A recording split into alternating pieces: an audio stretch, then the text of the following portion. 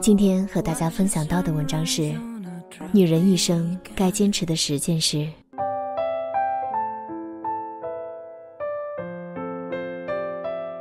第一件事，保持单身力。作家美亚曾说：“单身力是指即使结了婚，有了相伴一生的伴侣，仍然保持着单身的能力。”简单点说，就是女人无论在任何时候都要有自己的社交圈，有自己的稳定收入，有自己独立的精神世界。就算有一天要不得已离开对方，也可以过得很好的。一种能力。是啊，女人的单身力就是在婚姻中最高级的魅力，可以收放自如，可以想念就念，想独立就独立。有了单身力，余生才能活得洒脱随性点。第二件事，别太在乎别人的评价。有句话说：“人活一世，难调悠悠之口。”懂你的不需要你解释，不懂你的再解释也没用。是啊，有时候我们常常难过，就是因为太在乎别人对你的评价，把过多的注意力放在了不该关注的负面事情上。哲学皇帝马克·奥勒留曾经这样写过：“专注于建设好自己的精神世界，取消关注他人心境的殷勤学欲。”才会更加接近与幸福。人真正的自信，就是从不在乎别人的评价开始的。所以呀，余生别太在乎别人，多在乎在乎自己吧。第三件事，坚持一项爱好。编剧的艺术中有这样一句话。每个人都需要一条释放其天生创造力的途径。你不知道你的爱好最终会把你引向何方。言外之意就是说，爱好对你的人生有无限的可能。坚持写作，坚持阅读，坚持练书法，或者说坚持研究一种植物，都有可能让你成为该领域的专家。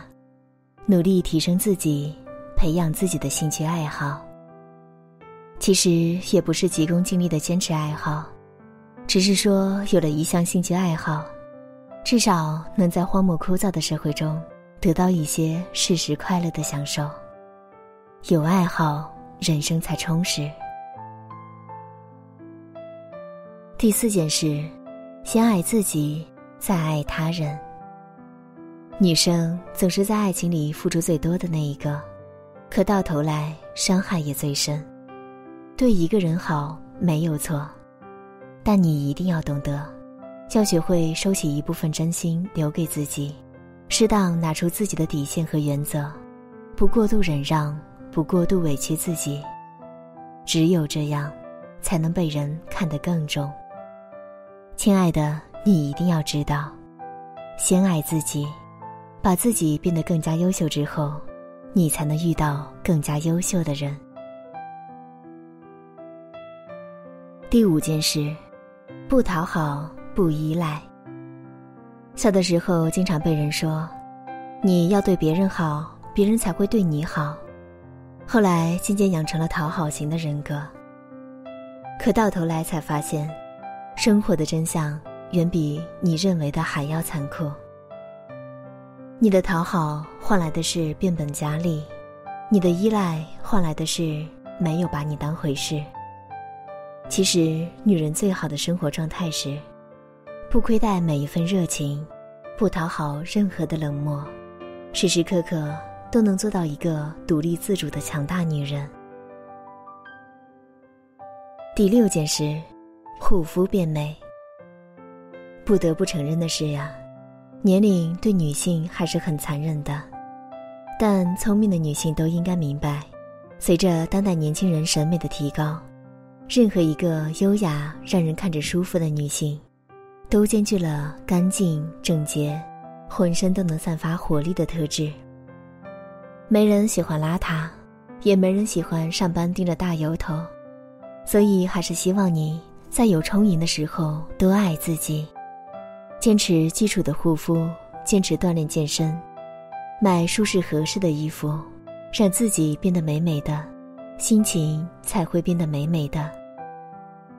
但是，别搞混了女性变美的目的，它并不是为了取悦他人，而是取悦自己。第七件事，懂得及时止损。无论爱情还是生活还是工作，选错了方向就应该及时调转方向，及时止损，别跟自己过不去。人这一生啊，总要遇到各种各样的挫败，学会及时止损是很重要的。止损尽管会有遗憾，却是短暂的。有句话说：“长痛不如短痛”，就是这个道理。有时候及时止损。是为了给自己一个绝处逢生的机会，九十后则是转向了更加广阔的人生。聪明的女人都知道，要活得像水，前方走不通就转流，不要活得像石头，撞到地面碎成了石渣。第八件事，每天运动半小时。有句话说：“先有好身体，才有好生活。”还有句老话说：“身体是革命的本钱。”现在的年轻人啊，经常为了工作加班加点的忙，身体早已呈现出亚健康的状态。有的人回家也是瘫在沙发上看看手机、刷刷新闻，可是这一时的爽快，并不能给你带来实质性的好处。你现在为舒适偷的懒，将来就会为身体多施一份压。不如趁这段时间坚持运动半个小时，一个星期下来，你就会发现，无论是身体和精神都有了很大的改善，整个人都看起来神清气爽。毕竟，运动和不运动的人生，真的是不一样的。第九件事，不要把时间浪费在垃圾事上。人这一生总会遇到各种各样的人。有善人，就会有垃圾人。